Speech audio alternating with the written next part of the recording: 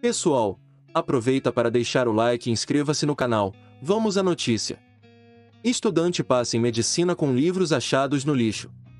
Débora Rocha, 19 anos, moradora de São Gabriel da Palha, no noroeste do estado do Espírito Santo, estudava com livros recolhidos pela mãe, que é catadora de materiais recicláveis, nas ruas da cidade.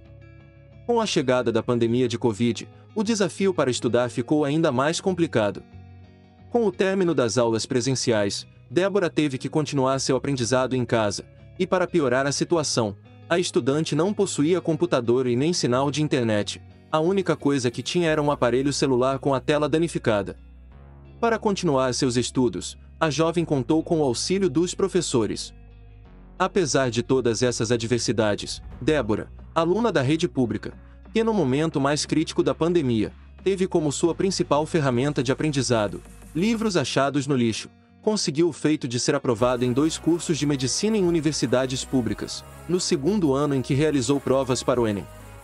A estudante brilhante foi aceita por uma universidade do Rio Grande do Sul e outra da Bahia.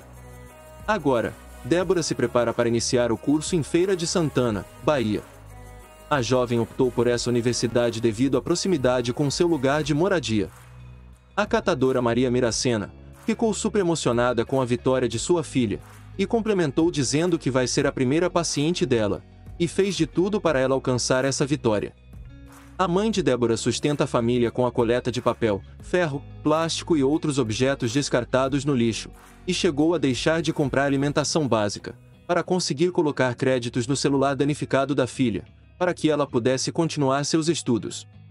Depois da conquista, Débora Rocha começa um novo desafio para organizar sua mudança para a Feira de Santana.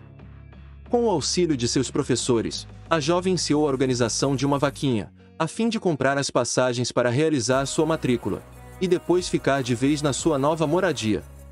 Aqui fica o exemplo da superação de duas mulheres incríveis, que através de muito esforço e amor, moveram montanhas para alcançarem seus objetivos. Aguardem as próximas novidades e inscreva-se no canal.